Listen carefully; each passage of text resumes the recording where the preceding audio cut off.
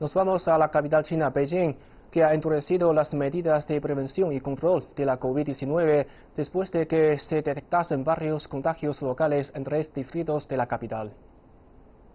Tras varios meses sin reportar ni un solo contagio local de COVID-19, esta semana volvieron a sonar las alarmas en Beijing después de que se detectasen casos de transmisión local en los distritos de Chaoyang, Xichen y Xunyi. El viernes, la capital china reportó dos nuevos casos en el distrito de Xunyi. Pan Xinhuo, directora del Centro Municipal para Control y Prevención de Enfermedades, informó el sábado de que Beijing ha estado llevando a cabo pruebas masivas en áreas clave y que cinco personas, todos contactos cercanos de los dos casos reportados el viernes, arrojaron un positivo por la COVID-19. Por ende, la posibilidad de más contagios no puede ser descartada. Chi Xiangwei, el jefe ejecutivo del distrito de Xunyi, afirmó que la zona ha entrado en un estado de guerra contra la enfermedad y que se está imponiendo una gestión más estricta del flujo de personas y se están realizando pruebas masivas a los residentes.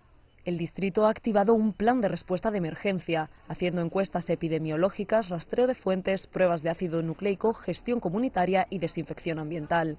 Las autoridades de Xunyi planean llevar a cabo pruebas de ácido nucleico para 800.000 personas. Para el mediodía del sábado, alrededor de 120.000 personas se habían hecho el test. CGTN en español.